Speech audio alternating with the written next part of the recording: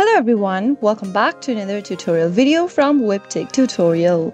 In today's video, I'm going to show you how to sign up for US Bank online banking account. So let's get started without further delay. Open up a web browser and then go to the URL box and type in www.usbank.com and press enter on your keyboard and soon after you do that you'll end up in the official site for US Bank. Now you should be able to see the account login box on the right hand corner of the screen. If you already have an online banking account registered you can go ahead and select your account type, enter your username and password and click login to access your account. If you don't have an account yet and you'd like to register online, click on this create a username and password link at the bottom. You'll now end up in the enrollment page. To enroll into online banking, go ahead and enter your card number or your account number provided to you by the bank. On the next field, enter the last four digits of your social security number.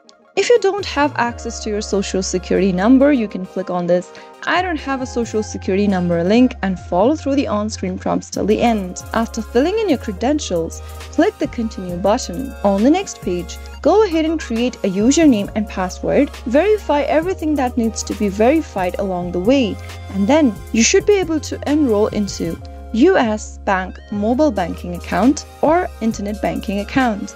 That is how you can easily sign up for US Bank. If you found the video to be helpful, go ahead and give us a thumbs up. Don't forget to subscribe to our channel if you've not yet. Also press the bell icon so that you'll never miss another upcoming upload from us. I'll see you again in the next video.